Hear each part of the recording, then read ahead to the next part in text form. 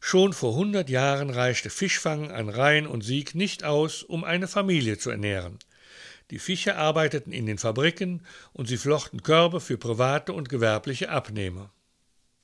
Das Korbflechten ist ein Beruf. Ähm, denken Sie dran, der Moses hat schon im Körper gelegen. So lange geht der Beruf schon.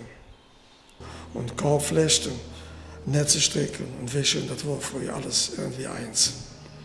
Und die, ähm, die großen Korbflechterfamilien, die waren in Mondorf.